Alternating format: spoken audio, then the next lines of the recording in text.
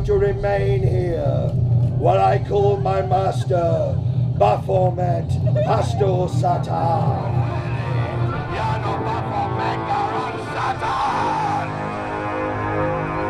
I am here.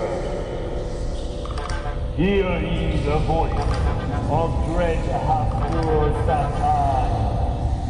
Ye and pray at my passing, but speak not my name. I name you Pastor Satan. Obadiah Swain, what have you brought me on this cloudy night?